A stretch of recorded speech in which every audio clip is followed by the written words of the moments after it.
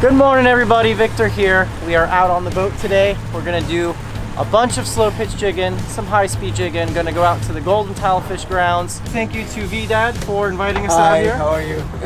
My buddy Tim right here. He's Hello. been absolutely hammering the Golden Tilefish. Say what's up, PJ? What's up? What's going on? I hope you guys are ready for a heck of a video. I'm pretty stoked. Oh, it's a moose. Oh, it's a big one. Holy smokes, VDad. Wow. Oh my god. that's Dude, big. that's a slug. Oh my god. That's a Oh, energy is high on the bow now. Yeah. VDad crushed it.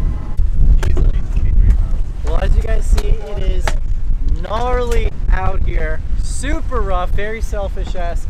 It doesn't feel like a spring day. It feels like a minor, middle of February day. We got massive swells out here, every bit of four to six, and um, we've been dropping the jigs for about an hour now, 30 minutes. The boys have got one blackfin and pulled off on some blackfins. I got cut off, and VDad just got the first golden tile, so it's time to get back down there.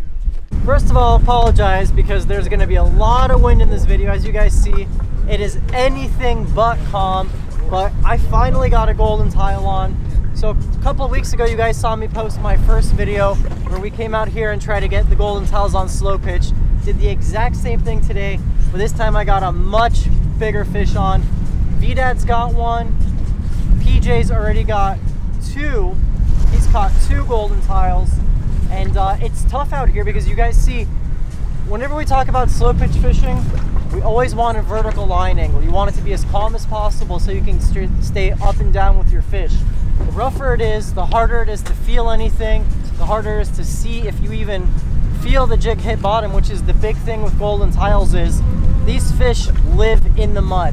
So you gotta basically bounce it, knock on their door and say, you wanna come become a catch clean cook basically. That's the only way you're gonna get them in the boat. But this is a proper one. I'm, I'm gonna guess that this fish is gonna be close to the 20 pound, if not bigger mark. Which is the cool thing about jigging for golden tiles is you don't really seem to get small ones. I think the small ones ignore it. There's definitely small small ones out here, but I don't think they mess with the jigs. I'm not filming on the camera. I'm Oh, oh, oh! Dude, these things fight all the way up. Oh yeah. So, the cool thing about these golden tiles is unlike other bottom fish, they usually don't blow up. They can control their um, their swim bladder, their air bladder, so they can self-regulate. I mean, this guy, the whole fight, rod doubled over, head shakes. He's trying to get back down there where he's comfortable. He does not want to see the light. And I don't want to horse this fish because I can, you, you don't know how, um, you know, how good he's hooked. And when you're fishing for one good bite all day, which we basically are, you don't want to be impatient and try to rip the hooks out of them. Definitely a character building weather out here.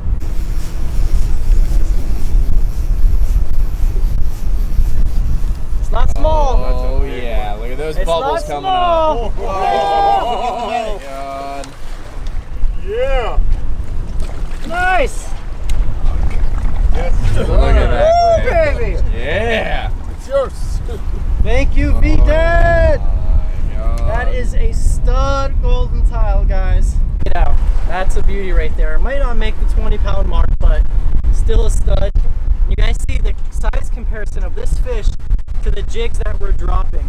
The reason we're dropping such big jigs is because you got to get down there. This is a 900 gram jig, over two pounds to maintain that vertical line angle, and they absolutely crush it.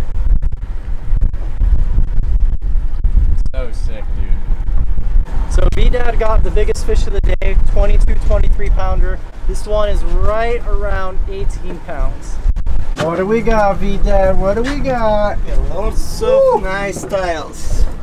Nice tiles. Big We did it. We did it good. I did not film much today. Not gonna lie, just wasn't feeling it. Ryan caught a decent amount of tunas, didn't you? Oh, I was catching tunas. I had the tuna sauce, not the tile sauce, but it is what it is. We caught plenty of fish. It was actually a really fun day. Pretty crazy the difference of the morning versus the afternoon, where we were like seeing six foot waves in the morning and fighting for our lives, and now it's a beautiful sunny afternoon. So I think we will see you guys at the fillet table. But first, Damn it. you guys can check out Ryan's channel linked below. He's my best bud, so give him some love. Check out his channel, Ryan Morie. And yeah, like he said, we'll see you at the fillet table. You guys are about to see a whole nother fishing adventure with my buddies Adam and CJ, but before we move on, big thank you to today's video sponsor, LMNT. LMNT reached out to me back in January, and for the past two months, I've been incorporating their electrolyte drink mix into my lifestyle. Whether it be going to the gym, fishing, diving, or just being out in the hot Florida sun, I'm prone to getting dehydrated. I can honestly say LMNT has helped me feel a lot better, especially on rough ocean days, which you guys just saw. For me, staying hydrated is one of the ways I avoid getting seasick and just feeling my best overall on the water. Everyone needs electrolytes for their physical and mental health, and LMNT makes it super easy and super tasty to fit electrolytes into your diet. LMNT contains a science-backed electrolyte ratio of sodium, potassium, magnesium with none of the junk like sugar, coloring, artificial ingredients, gluten, fillers, or BS. Right now, LMNT is hooking up my subscribers with a free sample pack. All you guys gotta do is pay for shipping. Go to drinklmnt.com slash landshark or click the link in the description box below. And you guys can try totally risk-free because LMNT offers no questions asked refunds if you don't absolutely love it. Big thank you once again to LMNT for sponsoring today's video. I'm about to whip myself up my favorite drink mix, which is the watermelon flavor, headed off to the gym. Hope you guys enjoy the rest of the video. Morning everybody, Victor here. I got Young Maloose, Wait, What's up, guys? and CJ. Yo. So we are back on the Key West. You guys haven't seen this boat in a long time. CJ invited me out. We got Adam, and we're starting the morning looking for sardines, cigar minnows, threadfin herring, basically anything that bites our sabikis. And it's kind of sporty out here. It's gonna happen today. Listen, I called Vic. I'm like, you gotta bring the jig. You're gonna lay up on the jig. Vic's gonna be jigging all day while we live bait. He's probably gonna outfish us. Let's see what, know I am. Let's see what happens. Ah. Are you ready for this? Are you ready for this? Ah. Look at this. I'm ready. We're about to be strung up. Early morning sardine chew. CJ, and look at this. A little, oh my gosh. Tell me that doesn't get you excited. Chewing. Oh, it gets me excited. Jay's got the same thing going on on this side. Cover it up, boys. The best bait you could possibly get in Florida. Probably the whole world. Hold this one up. Vic knows the deal. Look at that. Beauties. It just started biting once the sun peaked up a little bit. Started picking some cigars and now we're catching sardines. And the boys have put a hurting on them here in the past 10 minutes. We've caught like 60 baits. That one, that one's a unit. All right, guys, as you see, it is uh, anything but calm out here. Very sporty, very dicey. And it's never that easy to tell on video how rough it is. So I'm gonna try to put the GoPros low to the water. Keep in mind, we're in a 19 foot boat with three guys. This is all day, three to four slop. All day. With a six foot roller. Yeah, yeah, it's it's nasty, no doubt. All right, guys, it is so rough out here right now, but letting the bait out on the first drift, or second drift actually, and just hooked a nice dolphin, probably like a 10, 12 pounder. And with this north wind, you'd expect them to bite all day. Should be able to pick fish off all day, but we'll see what happens. Nice mahi. Dude, I'm gonna fall in.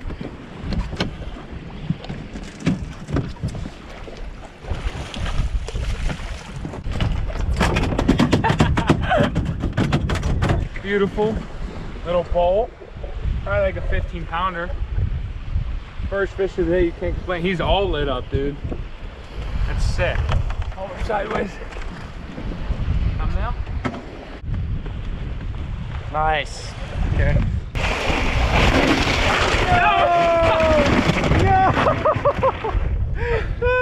Lost him before like that. Alright, he's just gonna get laps in there. Sorry, buddy. You'll, you'll get iced time. What was that? Big. I literally thought that was about to happen too. Nice dolphin. That's a 20 pounder, dude. On a spinner. Swam right up to the boat. You! They got a. Oh, buddy. They just. That's a nice one, dude. Can't believe he just came to commit suicide. They do that a lot, bro. It's crazy. That's a 25 pounder. Hey, tell me what's up. Them. elbow. Oh, Dude, it's so big.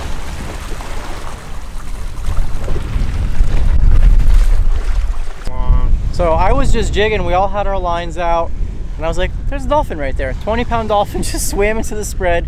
Jay grabbed a spinner with a free line hook on it, tossed it a sardine, immediately just went for it. He's got a nice dolphin. Spinner, there he is down deep. Guys, wait. Oh, back right. Oh, you Dolphin. Is it? Yeah.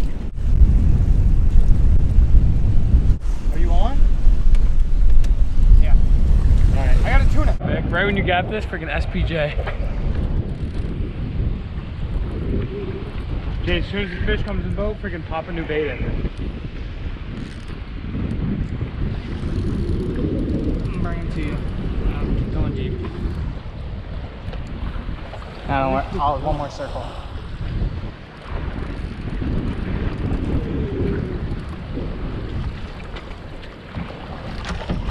In the boat. Big fish. He's in, he's in, he's in. Go to the cooler. Put out the stripe.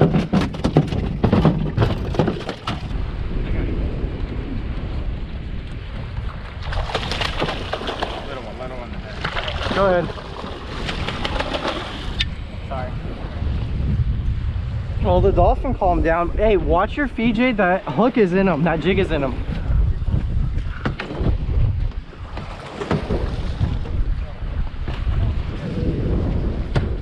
Hell yeah. Perfect. Little double header, boys. Double header for me Not and Jay. bad. Not bad. That's how you turn it around real quick. All right, guys, I got smoked on the slow pitch about 200 feet down. This is probably our fourth drift at this spot. Um, CJ caught a real nice dolphin, Adam caught a nice dolphin, blackfin, absolutely sloppy out here. And um, that was yours or mine? Mine. You sure? Yeah. Mine just died. I mean, it looks like it's gonna be a decent tuna. Yeah, yeah. Same straight up down. You might have to throw me some of this footage that not popping back. Never hurts to uh, throw the jig. I mean, you guys know I love jig fishing, but we got um two or two sardines up top and then one on bottom, or one kind of deep. But this jig was like 200 feet down, which the tunas could be down there. You know, we're in 300 plus feet of water. You never know where they're going to be sitting in the water column, so it never hurts to jig.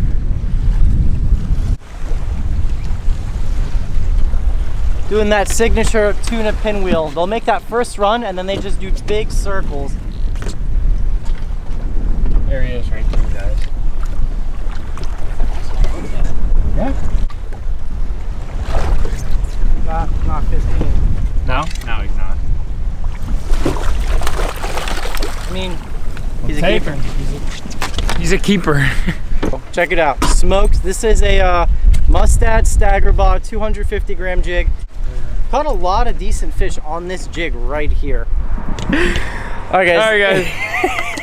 it's the end of the day. Adam is feeling a little silly, but you guys can check out his channel linked below. Moving Weight Fishing. Check it out. see on the beanie, on not no, on the shirt, not on the shirt today. but on my hat. He's got some merch too. I don't have merch, so you can support Adam. Look at that. He's my good bud. And uh, big thank you to CJ for taking us out once again. You.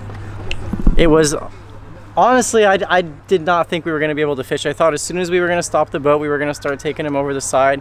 It was big out there, but we got it done. We got two nice dolphin, two tunas. Definitely a pretty slow bite. What was that one right there? Nine pounds on the small one. Nine and a half. Let's see the dolphin. I'm So going it'd be Vic. 10 pounds. Okay, hold on. I'm gonna Si- Uh, 15. 15 or 16 and 18. I'm gonna say 17 and 21. Probably, yeah, you're probably right. 17 and So 21. got 13. What Wow. did Vic say? Papa Dada. He knows how to move weight and read weight. 16.7. Let's call it 17. 17. That one's gonna be 21. 19. You guys, I know you got confidence in me. It's gonna be 21. It's gonna be 22. I think it's a dick, Jay. Because I caught That thing dogged you on the spinner. Wow, I'm off. 21! Wow. If you guys struggle with tuna, filleting tuna, I'm going to show you the easiest way to tackle these little blackfins. What you're going to do is, right here behind the head, make sure you get all that head meat. You kind of follow the natural contour around the collar of the fish down here. Okay? Now, Brookie, slide on over that way. For some reason, when it comes to pelagic fish, so I'm talking about tuna, dolphin, wahoo, non-scaly fish, this is my preferred method for filleting. When I'm on this side of the tuna, I like to get my knife right on the spine there and kind of work down. And blackfins have a really tough uh, piece of skin right there that a lot of people struggle with. So I'll just go real superficially, get my knife on the tuna spine and work my way like that. Okay? On the spine, all the way until I get to the tuna's back though, Okay? I'm gonna flip them around. The, the thing that people struggle with when it comes to filleting tuna is because they get all lopsided. If you got problems with that, make your initial outline of your tuna on both sides without removing the fillet. So we did that on that side. Make that tail cut. Once again, I'm gonna work up. Instead of doing this, I kind of like to pull the knife towards me with these pelagic fish and get my knife on the tuna spine.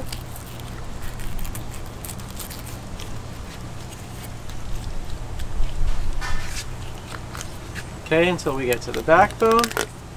So now I'm on the backbone on both sides. Now I can break through those bones, break through the pin bones, down on this side of the backbone.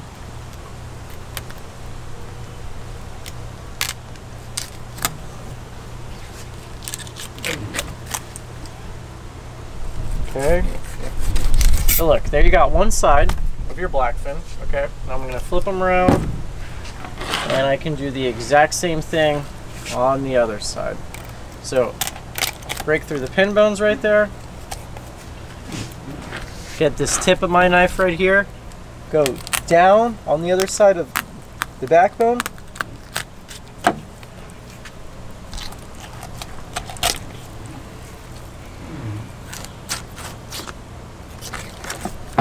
And that's it. And look, there you have two gorgeous piece pieces of blackfin tuna ready to eat. There's your blackfin. Before we get started cooking, we gotta give our girl, Brookie Chris, behind the camera, a round of applause and a little promo. You guys, I don't have any merch, but Brooke has these very cool lobster shirts that I'm wearing. You got your signature Florida lobster tails on the back. I think it's a very sick design. And then you got your Florida Lobster Co. right there. So Brooke actually hand makes those nets right there in the corner by hand, all by herself. You guys can find it linked below at floridalobsternets.com. So this video was a combination of two different trips. You guys saw the blackfin and you saw the golden tilefish. I wasn't too happy with the footage from the golden tilefish, so I didn't want to skimp you guys on some footage, so I combined them. So we got our perfectly portioned four to seven ounce pieces of this gorgeous golden tilefish. Now I'm very fired up, very passionate about tonight's cook. I got a homemade miso mayo marinade that's gonna go on top of this fish. We're gonna hit them with the broiler.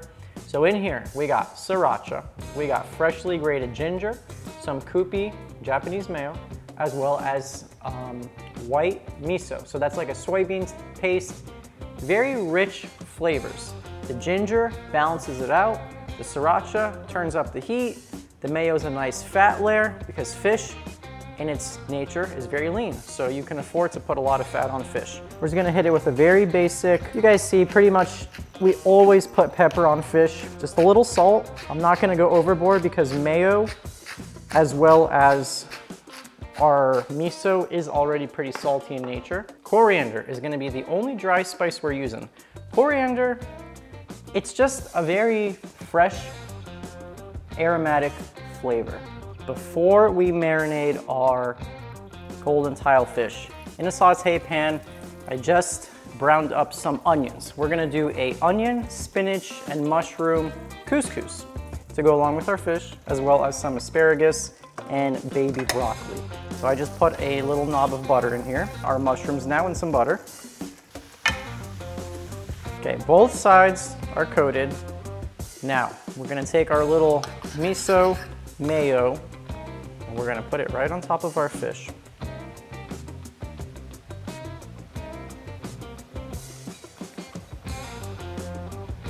Fish going in the oven, 350, and we'll check on it in about 15 minutes, and then I wanna put it under the broiler the very end.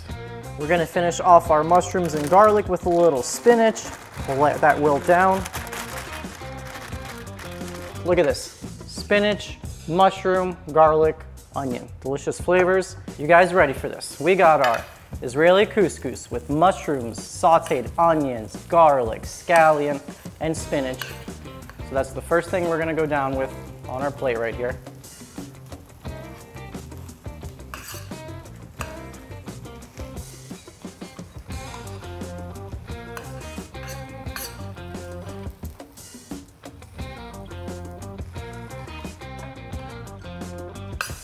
Now we have two veggies. We got our baby broccoli. So everyone's gonna get a little baby broccoli. Okay, so we got our baby broccoli. Now we're gonna go in with some asparagus. Oh my gosh, look at this. Hold on, we, we never do enough of this. Look at, admire that jiggle. That golden tile, that's just speaking eat me. And then this is that mayo, and when you put it under the broiler, broiler, all those sugars caramelize, and you get that signature, just, you know, the brown flavor you get with food when it's like slightly burnt. But look at this, nice and tender, okay, right there. It's gonna be savory, it's gonna be a little spicy. Well, there's a little sriracha in there so juicy. I had some scallions and carrots just shredded and I tossed them in a little sugar and vinegar. It's just gonna be a nice little garnish as well as just kind of, you know, it's something acidic that will cut through all those really strong flavors. This is gonna be a good one. That was artwork, Victor. Glad I came in to watch you do that. Thank you. That was good. so good, like explosion of flavor. Like it was amazing. I don't know. Like I, I'm like speechless. Really good. Oh, So good. man, Gabby is right. The first bite you put in your mouth is an explosion of flavor. She described it very well. That was, I mean, this is really something out of this world. From down deep. The bottom of your heart and the ocean. Mm. Man, Yeah, that big piece of fish. Oh yeah. Is that ginger that I taste? Yeah, you got ginger, miso. You love miso. I do love miso. Sriracha. At this point, I feel like there's not many fish that just like blow my mind. but this is definitely one of them. I don't know if it's the type of fish with this recipe, but it's absolutely amazing. This is at the top of my list. Victor literally knocked this recipe out of the park. This fish is delicious. It is a very large flake fish. It's really meaty and it's so delicious. Look, that's an entire flake right there. And boy, is it amazing. that was artwork that tastes as good as it looked. That was amazing. I'll agree with Brooke that that, that one was real high on my list. But I was super excited to try Golden Tile because I heard so many great things about it. In trying it, I agree it's one of the best fish I ever had, but it's still hard to tell how much credit I can give to the fish and how much credit Victor deserves because that recipe was something new that I've never had and it was it was spectacular. But that Golden Tile definitely definitely helped. This has got to be the best way to eat golden tile. Um, like everyone's saying, between the recipe and just the taste, uh, real thick fillets, um, just incredible. Like I love miso, and this is a great twist. Uh, well done, Vic. I loved it too. The seasoning was so good on the fish. The couscous is delicious. The crunchy vegetables, it was just all great. Um, love this meal. Good job, Vic. Thanks for having us again. Thank you guys all for the kind compliments. There's nothing more rewarding than cooking for the people you love. This, I mean, I love to cook, but then seeing everyone's expressions and how much people enjoy it, that's what it's all about. I have a ton of fun in the kitchen, and I love to share it with you guys, so thank you so much for watching. Thank you, everybody, for the kind words, and I will catch you guys in the next one.